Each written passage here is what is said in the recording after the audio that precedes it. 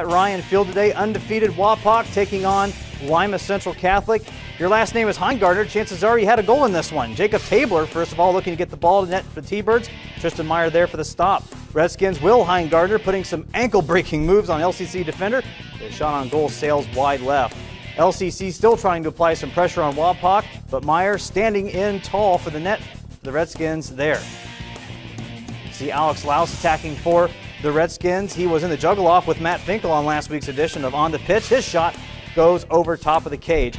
Another great scoring chance coming up for the T-Birds, but Alberto Bissone's kick flies wide left of the diving keeper. Will Heingardner with two goals. Sam Heingardner with a goal and two assists in this one as Wapak rolls 9 to 1.